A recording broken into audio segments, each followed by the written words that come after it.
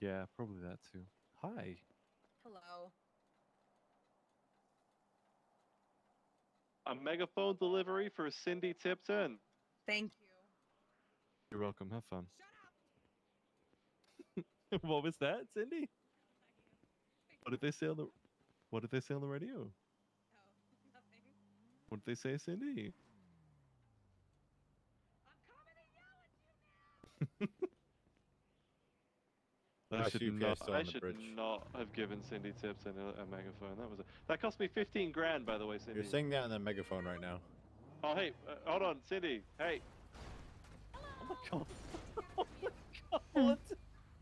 Dispatch Is that what you're gonna say? I didn't get it from No. you. No, uh, I was gonna say talk to Nancy Drew if you So want more. Okay? 921 Oh, okay, perfect, thank you. triple six.